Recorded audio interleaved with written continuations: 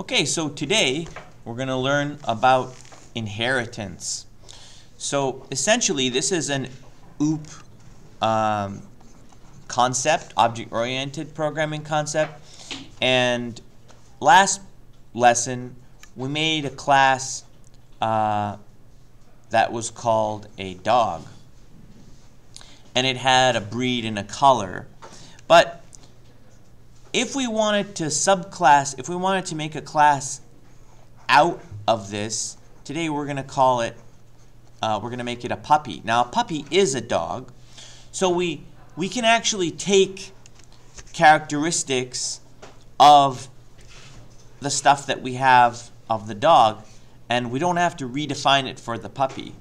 So for example, a puppy also has a color and it also has a breed. But a puppy might have some other characteristics that a dog does not. For example, um, not sure if you know this or not, but puppies actually have to be dewormed. So they have to have um, medicine so that they get rid of their worms. This is, this is what they do with all puppies. Now, dogs presumably um, would have already been dewormed, so I guess you don't need to worry about that for dogs, although in the real world that's not necessarily true. But for this example, we're just going to worry about uh, deworming puppies only. So let's take a look at uh, how this works in terms of the code. So here is our code, and here it, we're creating our on line 4, we're creating the dog class, and again, we have a class variable or a class field and that all the dogs that are going to share, all the instances of the dog class are going to share. And then here is my init method, which is called when I create a dog. So, you know, when I go equals dog bracket bracket. In this case, I have some default arguments for the color and the breed, and I'm setting those values. And one more thing, I want to specify. This is actually something peculiar, and we'll get into this more later. But I find that beginning programmers tend to always use the term self inside uh, any function in a class. Now, this isn't necessarily something that you need to do. So ask yourself, when do you need to use the word self? And the answer is when you want that variable to exist for all instances of the class and you want that variable accessible in every function of the class. So in other words, if it's a temporary calculation, like, I mean, let me give you an example. If, for example, I said something like, you know, uh, you know, uh, x equals um, 4 times 3 take away 2, you know, 2 or whatever, it doesn't matter. But it's just some calculation that I'm doing. I mean, this is trivial, but that's not the point. The point is, is that if I needed to do this calculation, and I needed that x for some value that I was going to send to a function, and then let's say um, let's say, for example, if that function was part of the class, so I would go self dot foo x. I don't I don't need to actually do self here. I don't need to do this. So I, why? Because this this calculation that I'm doing for x is just a temporary value that I need to calculate, but I don't need that to be an attribute of the class. I don't need every instance of dog to contain that value and it be referenceable or, or accessible. So I just we'll, we'll, we'll discuss this more in the future, but for now, I just thought I'd mention it just because I want to make clear that you don't have to put self for every single thing that you type inside a class. And we'll go over this more in the future because I find this is sometimes creates. Uh... All right, so let's move on here. here's the del. And by the way, I just wanted to say, usually, unless you have a specific use case for it, as I do here, where I'm subtracting one from a, a class variable, you don't usually um, create under or dunder del. But you always have to create dunder init. Okay. Uh, here is the speak method for my dog, and the do all dogs say woof woof. And if I want to print a dog, that's what's going to get printed. Once again, I want to reiterate, because you guys are new to uh, object-oriented programming, notice every single function starts with self. Okay? That's important. Now, here, I'm making a new class. Notice the indentation. This is not part of the, this is not inside the dog class. So how do I inherit? It's so simple. All I do is notice up here for dog, there's no brackets here. Okay? Whereas here for puppy, puppy there's brackets and I'm putting dog in the brackets. That means that puppy is now inheriting from dog. Now, here's one important point that you should always remember. You kind of have to write this in stone. Anytime you create an init method for a subclass, you the first thing you must do in that init method is call the base class's init method. So, in other words, we have to call this function from in here. That's the first thing we have to do. Now there's two ways we can do that. The one way we can do that is by explicitly calling going dog dot or sorry dog dot dunder init dunder and then we send the arguments. Notice we're sending these arguments that were passed to us from the init arguments for puppy. Also notice that puppy happens to have one extra argument that dog did not. But also notice that it has the same arguments that dog did. So I'm still passing the color and the breed. But, I, but notice that when I call the initializer for the base class, or the parent class, by the way, those two terms are interchangeable. You can say base class or parent class. Um, I'm not sending wormed because that's not going to make any sense to this. So wormed is not a part of the dog class. So now um, I can either do it this way explicitly by going dog dot and I have to pass self as well or I could do it this way and I've commented that this out because you don't want to do both but one of them. You can actually use the super function and that'll actually figure out that this is a dog. And it'll also by the way notice here this is easy to forget that you don't actually have to pass self when you do super function dot. Okay and I put a comment here. So what's the advantage disadvantage? Well if you write your function like this or if you write your init function like that then if you happen to change this, let's say I let's say I change this to um, uh-oh. Let's say I change that. Okay, hold on, wait. Uh, let me come up here and change this to animal. I know I don't have an animal class to inherit from, but let's just say I did. Then, then this would be wrong then I can't type dog here. I'd have to change this to animal. Whereas if I left it like this, if I left super, now it's okay. It figures out that it's animal. So that's the that's the purpose behind that. Okay? Um, you can use either one, whichever you prefer. They do the same thing, one or the other. Notice also, though, that after I call the the init method for the base class, I'm also uh, taking care of the extra passed argument, which is wormed. So now I'm doing that on line 29 because that's some extra information I need to deal with that was passed to the init method for the puppy. Also notice what's really interesting here is I'm actually what's called overloading the speak method. So notice for a dog, speak is going to go woof woof, but speaking for a puppy is going to just go rough.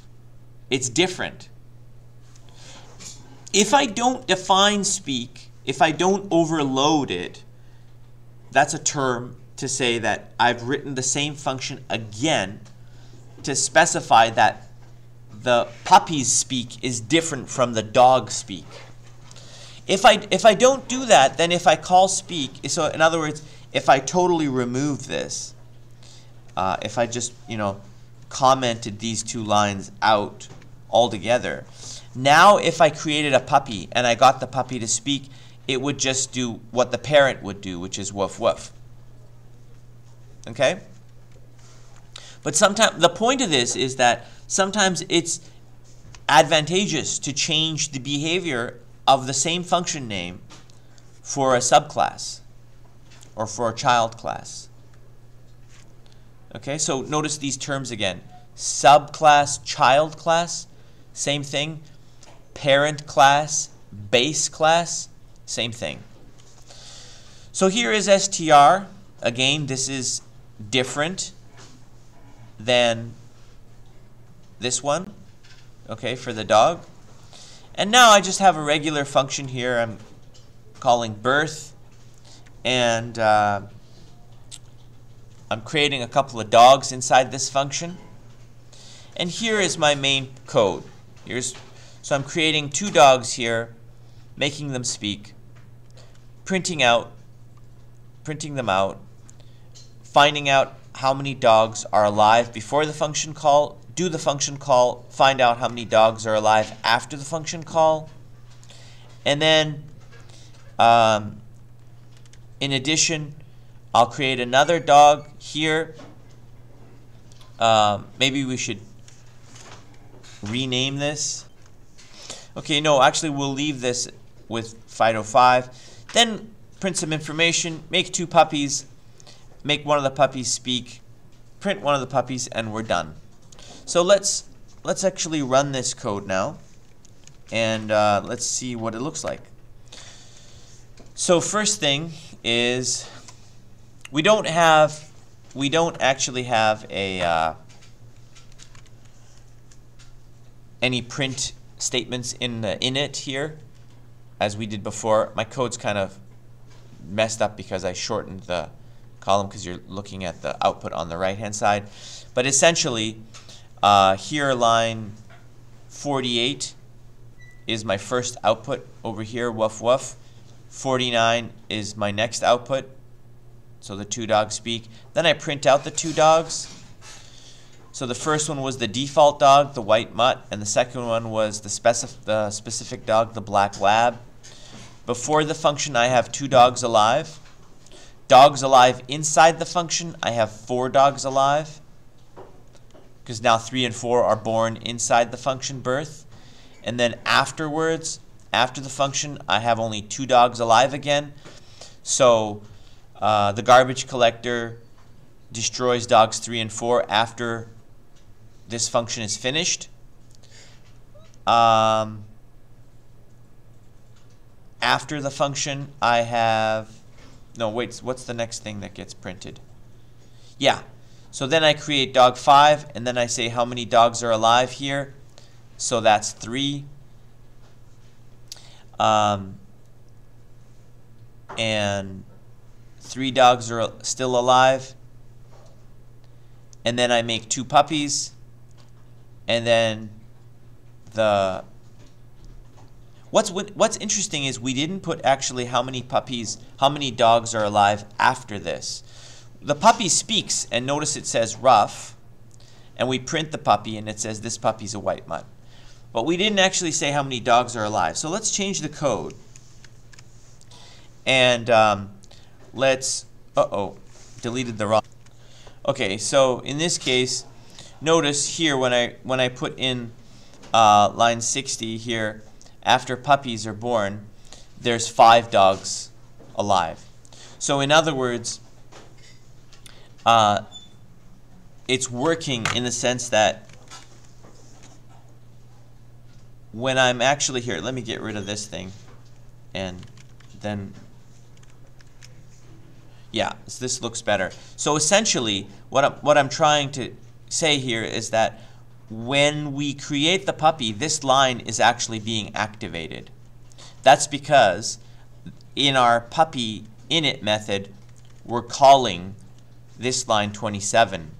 That's why we're adding one to the number of dogs, the, the class variable dog, not the instance variable.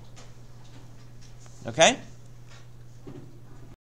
Okay, so one more thing I should mention, and that is the difference between lines 27 and 28. Super is actually um, more versatile in the sense that it actually works for multiple inheritance too. So here's a website that kind of gives an example of multiple inheritance where we're, we're, in, we're creating a dog from two different classes. We're creating a dog class from two different classes. And in this class, now you would say, well, which one are you going to use? So in this case, with multiple inheritance, the, the super function call is um, more versatile in that way, okay, for multiple inheritance. Okay, so here we have a, an example of a what we're doing here is we're creating a class called myApp. It's basically inheriting. We're applying what we've learned, right, in terms of object-oriented programming. This, this new class that we're creating called myApp inherits from FL Window. So in other words, it, can, it has all the stuff that FL Window has.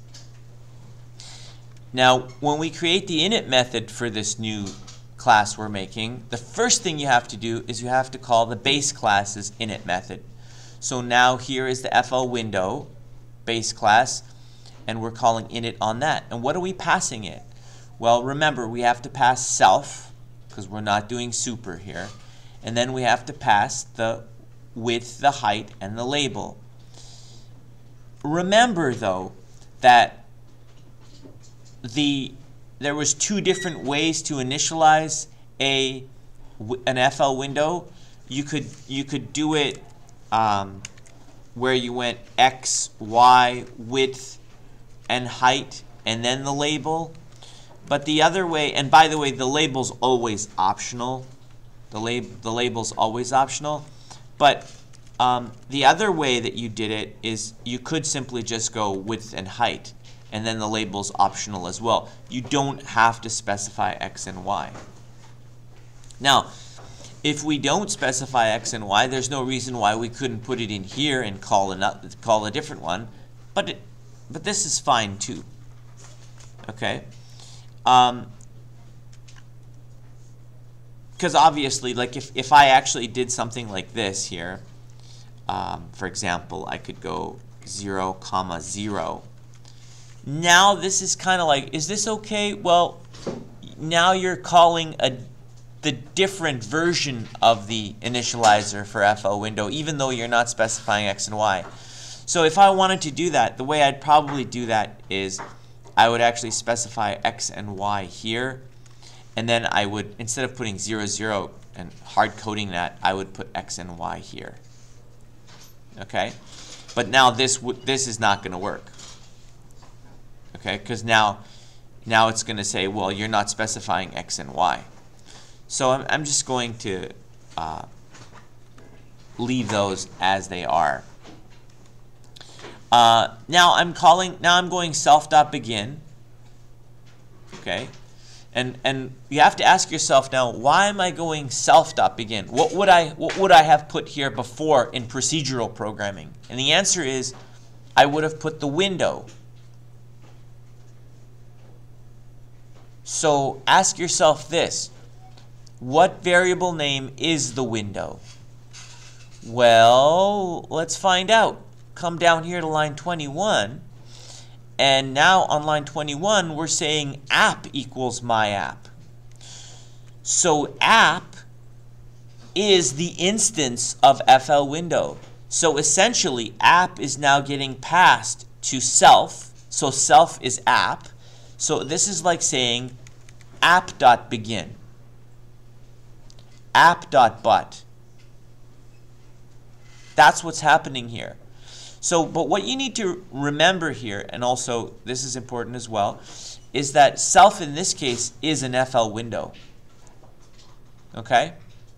So I'm actually calling this method dot begin on an FL window. So I create the button, and do I want every instance of my app to have a button? Yes, I do. And I now set the callback for that button. And notice also that the callback function name is also inside the function. This is a common mistake too. Doing this is a mistake because this is how I would do it in procedural programming.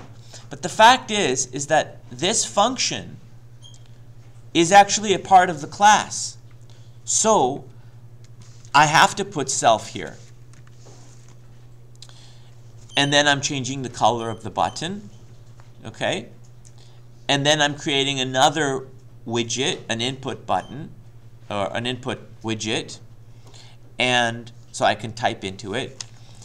And then here, notice I'm specifying the callback that I specified that I was going to make on line 11. And again, notice that because it's a class method, it has to start with self. Okay? In this case, WID is the argument that is passed to it. In other words, it's the widget that received the event. So in this case, it would be but. Okay? But interestingly, right, this, this comment is actually not really exactly true. WID is actually self.but. So I could do it this way, or, I mean, I could just copy this line and replace WID with uh, self.but. Okay? So this is the cool thing is that everything inside the class is now accessible in any function. And you'll see that this will actually uh, um, prevent us or like um, exclude us.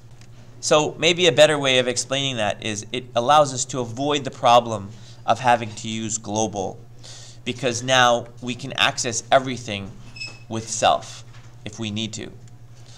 So now here's the cool thing. Once we've made this, okay, once we've made this class, now um, I can simply create the class here and call app.show and then run. In fact, I could even, listen, I mean, I think it's actually probably better the, the way it is here, but I could, for example, simply take out app.show and right here put app.show, but this is wrong now, right?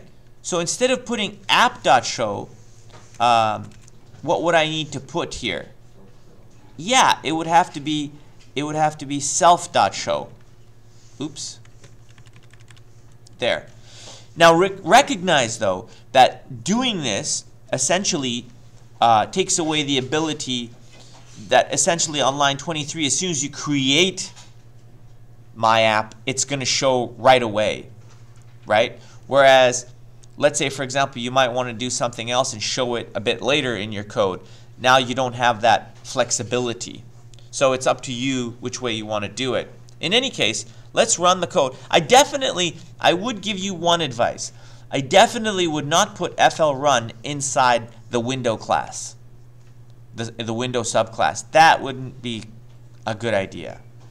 Um, that should be outside. Um, the scheme here I've left outside as well, and that's because what if I want to make another class? I want this to apply to everything. Uh, I don't think I'd put the scheme in there either. Um, so that's it. So let's let's run this program. Okay, so now we can see everything at once. So in, the, in this case, um, notice that if I click here, what it's doing is the callback is basically taking whatever's inside the input, the text inside the input, so whatever's in here, and it's putting it as the, the label of the button. So what's in here right now? Nothing. So if I click it, the label becomes nothing. If I type in hello here and I click this, the label becomes hello. If I, if I change it to something else, that's what the label becomes. Essentially, that's what this code is doing. But the purpose of this is not so much to show you the complexity of the button and the input. We've done that before. The purpose of this is to show you how to create a class. Now, there is one other benefit to this, and I'll show you. Okay, here's my point. If you do if name, if dunder name dunder equals string dunder main dunder, and now you put this code here, what I can now do is I can import this file. I can import pyfltk-example, which is the name of my file, and then I can um, I can actually import this class and and use it somewhere in another file. Now, the purpose for putting this line here, line 22, is such that when you import a file, the whole file is usually run. But by having this line, lines 23 to 26, 20, th these lines here at the bottom will not run because when you import it, dunder name is not equal to main. But when you run it directly, it will be equal. So, in other words, so for example, if I actually run the file directly, running Python 3 and then the name of the file, it runs perfectly. It's as if that if statement's not there. It is, but it's it's the, the if statement's returning true. Okay? So when would it not be true? Okay, not a good idea probably to use dashes. I changed it to an underscore. But watch this. If I create a file called test, and now if I go uh, from pyfltk example import, and I think it was my app, right? Then let's see if this is actually going to work. So here is, and let's now let's run it, Python 3 test. And it works. No errors whatsoever. So what this means is, notice nothing ran though. That's the important part. Nothing runs again. Okay, so I go back to the code here, and now I'm gonna go to uh, this thing here, and now watch this. I'm gonna take out this line. Okay, so uh, take out this line, and then I'm going to uh, move these guys back. Okay, so now watch this. I'm gonna save this. And now, if I, okay, so now notice I've, I, I took out that if statement. Now if I run it, look what happens. Uh-oh. Oh yeah, sorry, I'm running the wrong program. Of course it's going to run if I run the program itself, but watch what happens when I run test. And let's just see what's in test, okay? That's the only thing in test. Now, but let's run it. Let's run it. Oh, oh, wait. Why is my program running? Exactly. This is the only line in it. So essentially, here's the point. If you import another file, it'll actually run it. So how do you prevent how how do you prevent the whole program from running but still be able to uh, import a class but not have the whole program run? Answer, this is what you do. Ta-da! Now, okay, if I if I save this and I go to my here and I try running test, now look what happens. Nothing. in because I have this if statement, the the name is not going to be equal to main now when I import it. And that's that's what I'm doing. I'm importing it. Okay? So hope that was really useful for you guys.